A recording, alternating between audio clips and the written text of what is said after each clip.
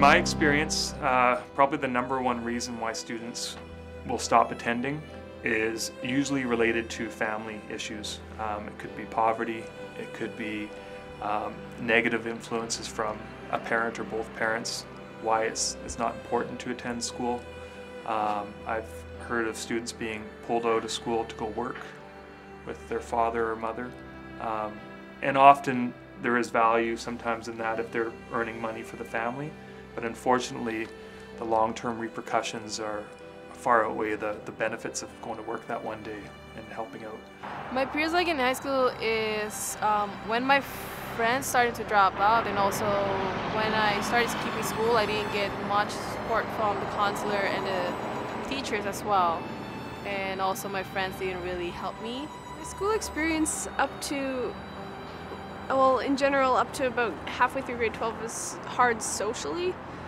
Um, the academic part of it too was very, it was difficult and I wasn't receiving the proper help. I had a lot of trouble um, just with the, the basic curriculum and just in general, I just had focusing attention issues and I just didn't fit in well. I, um, I did much better when I went to an alternative school and I, I considered dropping out a lot. I, uh, throughout my first four years, so while I was at Prince of Wales, I, I considered dropping out many times.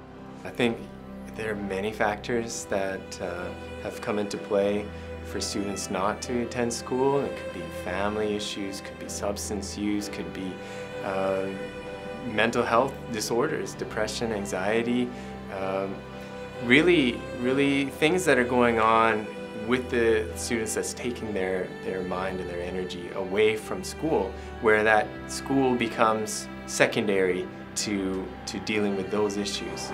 I left my school because there's two reasons. One is I, am not getting support from my parents and the school. They didn't really push me that hard. And also my friends starting to drop out.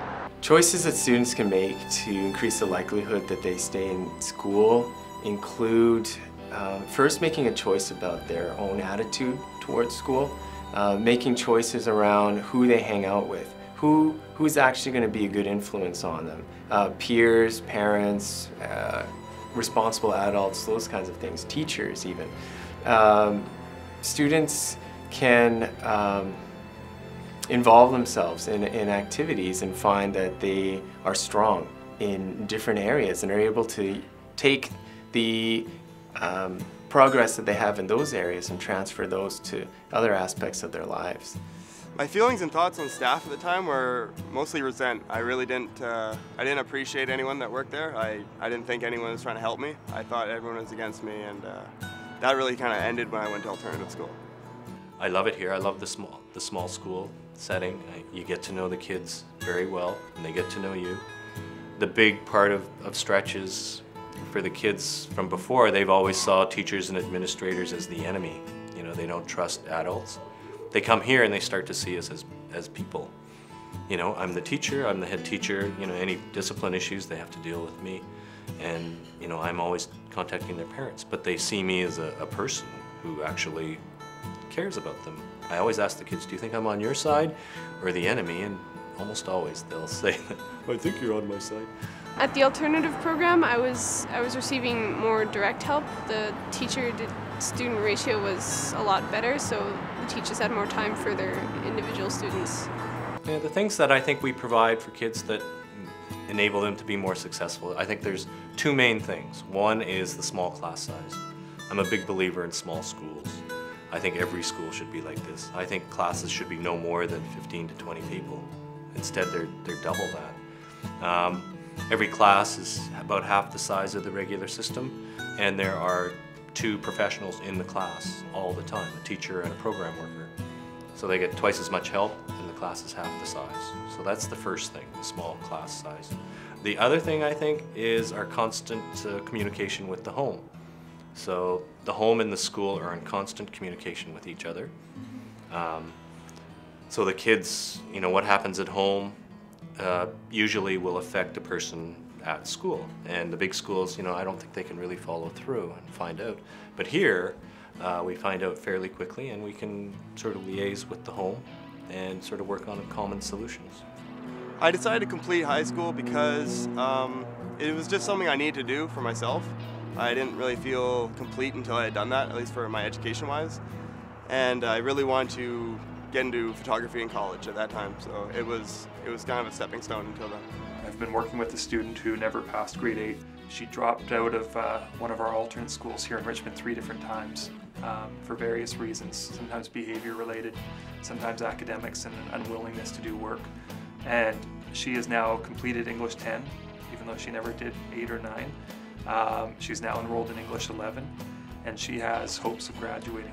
Not finishing your high school is is a bad idea. Um, there's so many reasons not finishing your high school. You can't. you don't want to you can't get a job that you want. Also, it's hard to get into college because you, you didn't finish your high school. And it's just hard to blend in with some people when you don't finish your high school. I decided to complete school because I had more um, a motivation.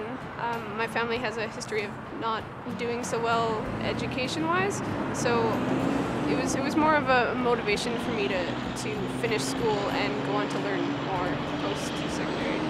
So I think that if everyone understood that as a community, we are all responsible for each other, that uh, individuals can then be able to uh, be picked up and find their way. And uh, once people find that path, it's up to them to make those plans and follow through with them. And have people there cheering them on, celebrating those successes, and being there to understand when things go wrong.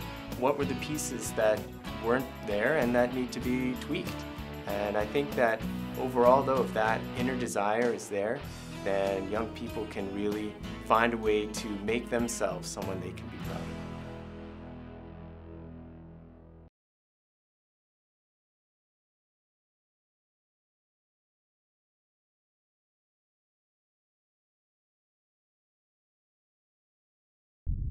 You